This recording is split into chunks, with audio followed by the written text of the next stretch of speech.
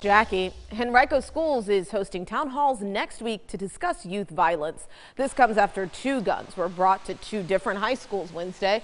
The community is invited to be part of this dialogue on hope, healing, and a call to action for the future. The Henrico Police Chief, the Department of Health, and several other groups will be there. The first is Monday from 6 to 7.30 p.m. at Henrico High School. The second will be virtual on Wednesday from 5.30 to 7 p.m.